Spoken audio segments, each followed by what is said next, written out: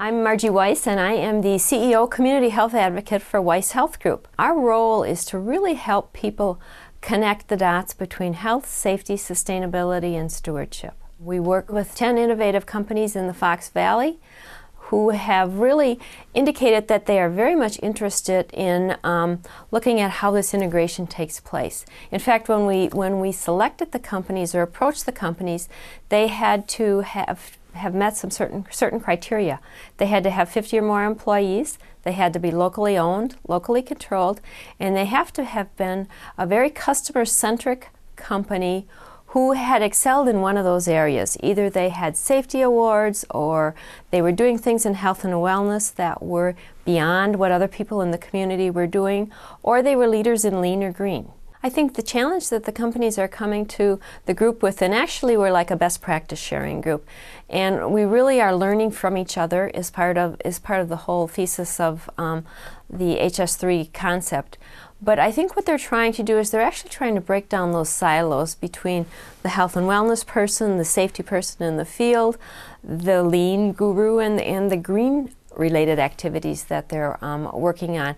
And really, when you think about it, in terms of lean, what you're trying to do is get rid of waste and, and um, maximize the resources that you have, and that spills over into green because that's very similar.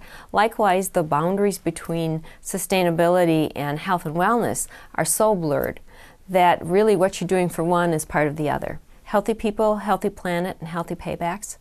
I think that's probably motivating everybody.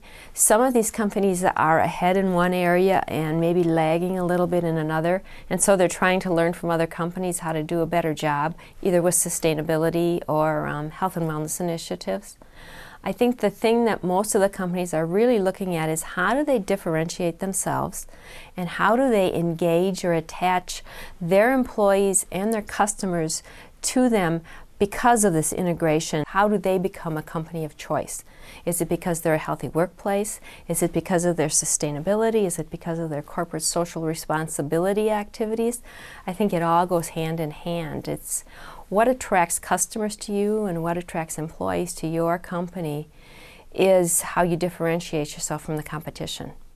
As a PhD prepared nurse practitioner, I've certainly had a lot of um, experience working with healthcare and healthcare delivery systems and really have um, a passion for people being connected to healthcare when they need it and the whole idea of the um, patient experience and what the patient should be feeling and experiencing when they are um, working with a healthcare provider is very much a passion.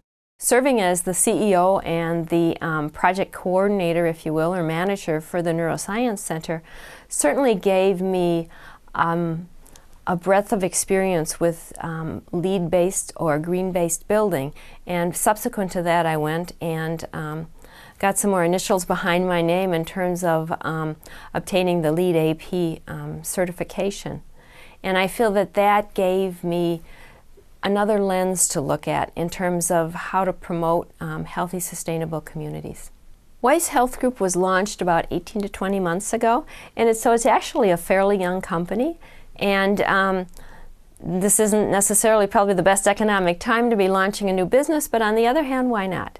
And um, I think the goal for Weiss Health Group is not to grow big and just be a multi um, specialty consulting group, but it really I thrive on working with my companies and making them be successful.